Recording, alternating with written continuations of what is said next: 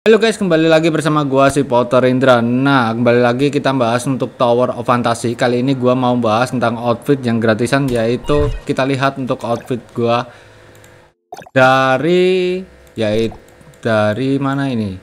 Buster bukan ini, gua bukan ini. Ya, Conqueror. Oh, sorry, balik lagi. Kita klik Conqueror, klik aja pakai.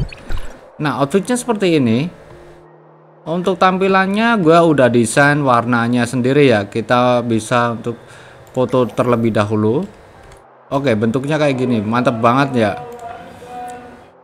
Dan kalian paham sendiri Lalu untuk dapetinnya sendiri kalian bisa mudah banget yaitu untuk eksplorasi buka aja ke map lalu klik aja ke bagian Astra. Nah, jika Astra kalian udah mencapai 85% maka kalian akan mendapatkan outfit secara gratis.